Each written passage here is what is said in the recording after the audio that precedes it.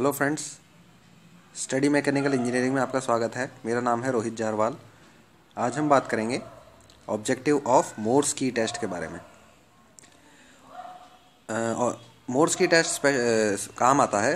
It is use to obtain the indicated power without any pressure measuring device but the primary objective is to determine the mechanical efficiency यानी हम इससे indicated power निकाल सकते हैं cylinder की, और साथ ही मैकेनिकल एफिशिएंसी भी निकाल सकते हैं जो कि इसका प्राइमरी ऑब्जेक्टिव होता है और इसमें हमें किसी तरह के प्रेशर मेजरिंग डिवाइस की ज़रूरत नहीं होती है। ठीक है? अब इसके बाद हम इसमें क्या करते हैं धीरे धीरे स्टेप बाय स्टेप जैसे एक सिलेंडर के आउटपुट को कट करते हुए जाते हैं और रिमेनिंग की ब्रेक पावर हम निकालते हुए जाते हैं। इस तरह से ये काम करेगा। अभी देखते हैं अभी आप समझ जाएँगे दो मिनट में। आ, इसमें एक चीज़ का ध्यान रखना है। अगर हमारे पास पेट्रोल इंजन है सिस्टम में तो उसका हम सप्लाई कट करेंगे स्पार्क प्लग को शॉर्ट करने, करके।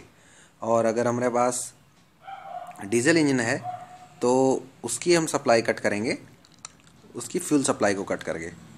ठीक है? ये हमारे काम आता है एस आई और सी आई दोनों इंजन के लिए।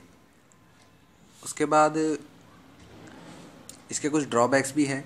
Use for multi cylinder only. केवल मल्टी सिलेंडर मिनिमम दो सिलेंडर होने चाहिए तभी हम इस टेस्ट को काम में ले सकते हैं।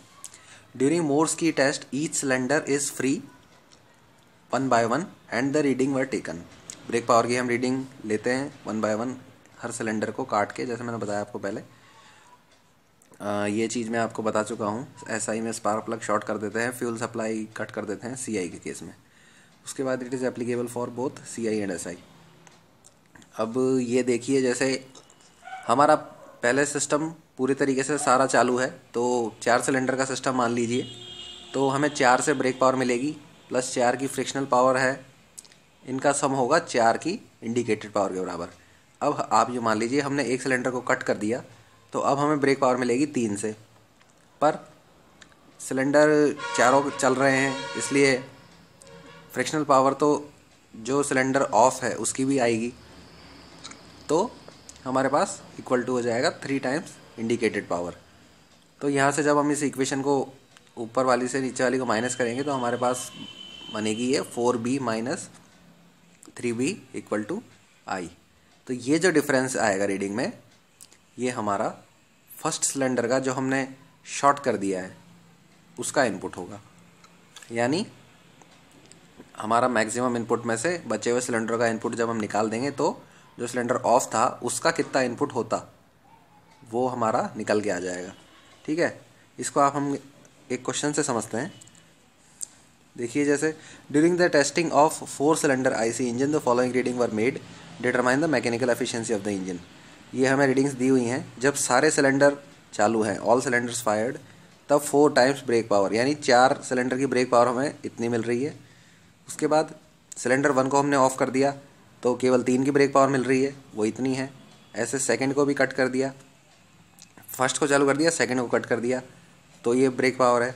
इस तरीके से हम वन बाय वन सभी सिलेंडर्स को कट करते जाएँगे। अब हम क्या करेंगे? जैसे कि हमने वहाँ देखा था टोटल में से हम तीन की ब्रेक पावर निकालेंगे तो जो शॉर्ट हुआ है, उसकी इंडिकेटेड पावर हमें मिल जाएगी।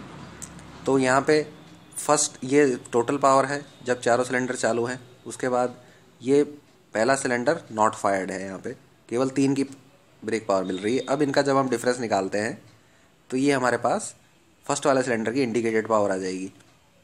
ऐसे ही हम टोटल में से जब सेकंड वाला कट कर दिया, उसका डिफरेंस निकालेंगे तो हमें सेकंड वाले की इंडिकेटेड पावर मिल जाएगी।